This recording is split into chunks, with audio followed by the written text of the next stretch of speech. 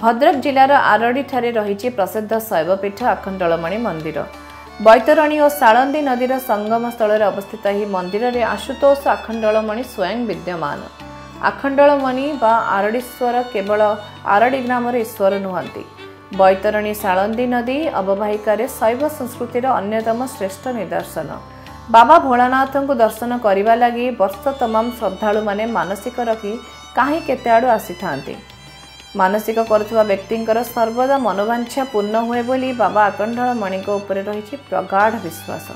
ତେବେ ମନ୍ଦିରକୁ ନେଇ ରହିଥିବା କିମ୍ବଦନ୍ତୀ ଏବଂ ମନ୍ଦିର କାନ୍ଥରେ ଖୋଦିତ ହୋଇଥିବା ମୂର୍ତ୍ତି ତଥା ସ୍ଥାପତ୍ୟ ପର୍ଯ୍ୟଟକମାନଙ୍କ ପାଇଁ ଏକ ପ୍ରମୁଖ ଆକର୍ଷଣର କେନ୍ଦ୍ର।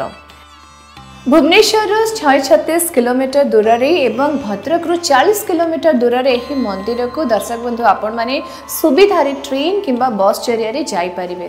ତା ସହିତ ପ୍ରସିଦ୍ଧ ଶକ୍ତିପୀଠ ମା ଭଦ୍ରକାଳୀଙ୍କ ମନ୍ଦିର ଦର୍ଶନ କରି ମାଙ୍କର ଶୁଭାଶିଷ ମଧ୍ୟ ନେଇପାରିବେ।